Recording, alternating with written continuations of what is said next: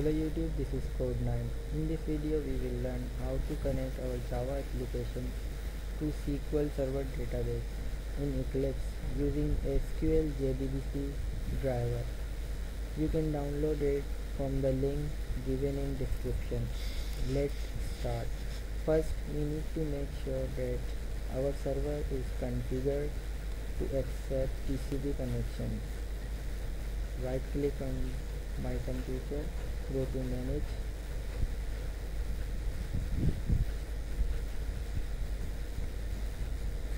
Expand services and application. Go to SQL Server configuration. SQL Server network configuration. Protocols. Make sure this is enabled.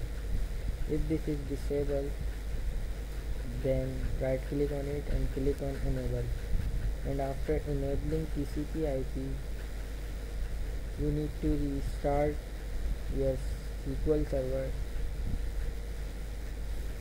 Okay? I have already done this so I am not restarting my SQL server.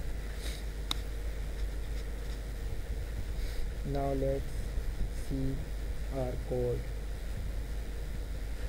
First of all we need to add reference of JDBC driver to your project. Right click on your project go to configure build path. Just uh, remove it. Add external jar. Now your SQL JDBC driver is added to your project. Now let's see our code these are the packages need to import for this code. String server. This variable is the name of your default server. Integer port. This port is the SQL server is listening to. To find out which port is listening I have used a program called TCP view. You can download it I have given the link in the description. Run it. Then it will give all the processes and their port numbers. Look at SQL server.exe which port number is listening? 3858 this is the port number SQL server is listening 3858 string user username for to connect the server password of the server database database name.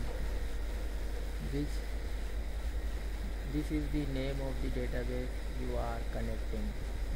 String jdbc url connection variable to hold the connection. First we need to load the driver com.microsoft.sqlserver.jdbc.sql server driver this is the path of driver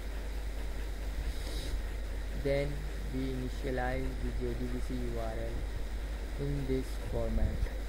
I have given this in the description. You can copy and replace your jdbc url with this. Now prepared statement to pass a query. This prepared statement variable name connection variable dot prepared statement your query. Declare a result set to hold the result written from this query. Now while loop to print all the results. Now let's run it.